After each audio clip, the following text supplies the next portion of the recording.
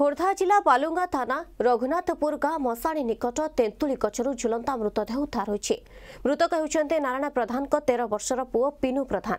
ମୃତ୍ୟୁର କାରଣ ଅସ୍ପଷ୍ଟ ରହିଛି। ଘଟଣାସ୍ଥଳରେ ପୋଲିସ ପହଞ୍ଚି ମୃତଦେହକୁ ଜବତ କରିବା ସହ ଛାନଭିନ୍ କରୁଛି।